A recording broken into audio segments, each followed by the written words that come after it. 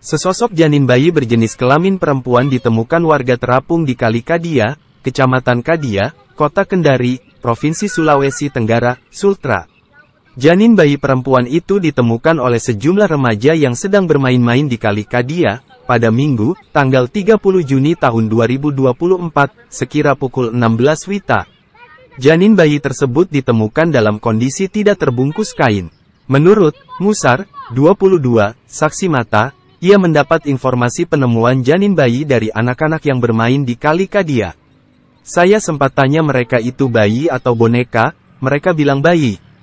Terus saya sempat minta mereka cari kantong plastik sama dos, ujarnya. Setelah itu, Musar melaporkan kejadian tersebut ke Polsek Mandonga. Ia mengatakan saat ditemukan kondisi janin tanpa dibungkus kain ataupun plastik.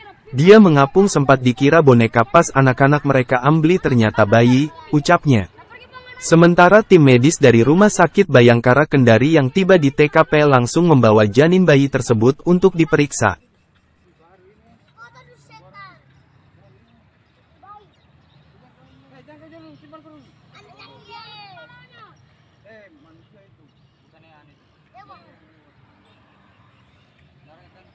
Astagfirullahaladzim. Eh, mana orang tuanya dari sana?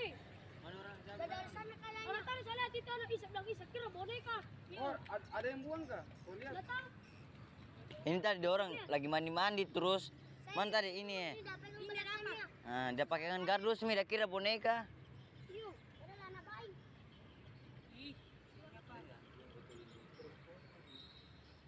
perempuan. Download Tribun X sekarang. Menghadirkan lokal menjadi Indonesia. Terima kasih sudah nonton. Jangan lupa like, subscribe, dan share ya.